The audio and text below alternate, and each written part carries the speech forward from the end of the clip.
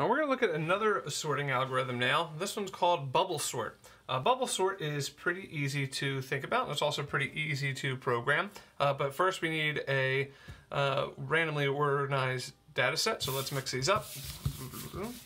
All right. And here we go. All right.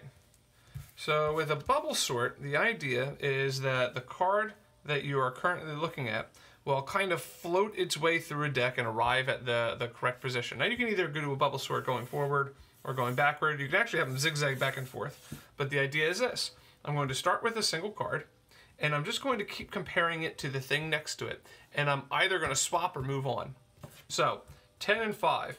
Well, 10 is greater than 5, so this means I should do a swap. 10 is greater than 7, so I should do a swap. 10 is greater than 4, I'd do a swap. Greater than 6. So this process continues all the way up. And every single time I do this comparison, I do a swap, it goes to the end. Now, bear in mind that we just had the biggest value at the lowest position, so maybe it'll look a little different this next time. Now we take 5, and we know that this part of our data set's uh, in, in position. As soon as we do one pass, we know one card is in the correct final position. So we compare 5 to 7, and we don't swap it.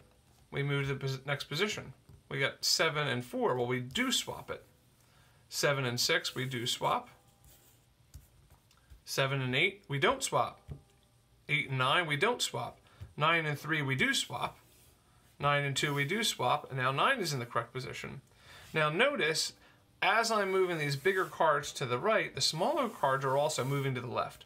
So one of the results here is that as you continue to do this bubble swap, everything is slowly kind of migrating to the position it needs to get to. So now I have four, five, six, seven, eight. Those guys get swapped. I can jump through these pretty quickly until I get to a position. Oh, I should have swapped them before. That's my mistake.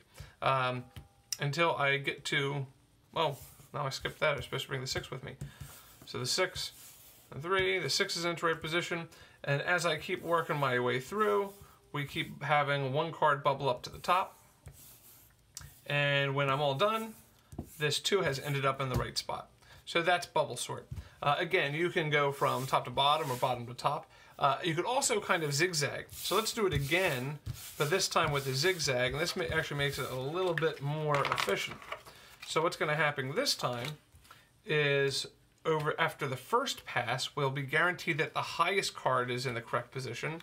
And after the second pass, we'll be guaranteed the lowest card is in the right position. So highest card, swaps, swaps, swaps, swap, swap, swap, swap, swap. 10 is now in the right position. I got that locked in. Now, instead of going from left to right, I'm going to go from right to left, but I'm going to take the lowest card, and uh, that's what I'm going to move forward. So in this case, I have the 3, which is lower than a 4, lower than an 8, lower than a 9, lower than a 6, lower than a 5, not lower than a 2, but the 2 is lower than a 7, and the 2 is in the right position. All right, so what I've done is now got my two ends done. I now start from this end and work my way up with the, the larger card each time. So the larger card bubbles up, bubbles up, bubbles up. I get to the 9, the 9 bubbles up. That goes into the right position, and now I go work my way down and 4 bubbles down. And what you notice pretty quickly is that these cards are now sorted. So if I can actually go through a pass without moving anything, uh, I can tell my algorithm that that means everything else is sorted and I'm done. I don't need to do any more passes. So doing a bubble sort that zigzags back and forth is uh, relatively efficient and uh, not too difficult to code, but that's uh, another way to get cards in order. So if you have a mess, consider maybe using a bubble sort.